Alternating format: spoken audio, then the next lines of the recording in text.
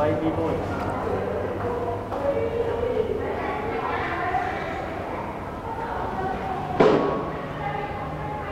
ញ្ញាតគោរពនឹងជំរាបសួរដល់ប្រិយមិត្តទូរទស្សនិកជនចានៅក្នុងពេលនេះដែរនាងខ្ញុំកំពុងមានវត្តមាននៅក្នុងសាកលវិទ្យាល័យអន្តរជាតិ ចាដល់ថ្ងៃនេះសាកលវិទ្យាល័យអន្តរជាតិបានជ្រើសរើសយកថ្ងៃទី14កុម្ភៈដែលជាទិវានៃសេចក្តីស្រឡាញ់ដើម្បីប្រារព្ធនៅពិធីចែកបានសរសើរដល់និស្សិតឆ្នាំឆ្នាំសិក្សា2017-2018និងចែកពានរង្វាន់ស្រាវជ្រាវនិងច្នៃប្រឌិតអូនសបូតឆ្នាំ2018ចាយើងឃើញថាមានវត្តមានដ៏ពងពួររបស់ឯកឧត្តមសាស្ត្រាចារ្យមហាបដិញ្ញាបណ្ឌិតសបូអូសាណូដែលជាសាកលវិទ្យាការនៃសាកលវិទ្យាល័យអន្តរជាតិ